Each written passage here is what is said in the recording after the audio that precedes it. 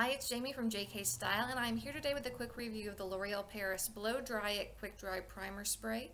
This is supposed to cut down on dry time and help protect hair from heat damage. So I just cut 5 or 6 inches off of my hair last week, and my dry time is around 11 minutes. Uh, this morning I tried the spray and got it down to under 8 minutes, so it does work. Um, it only sells for about $4, so it's not a big investment. Let me know if you try it. I'd love to hear what you think of it.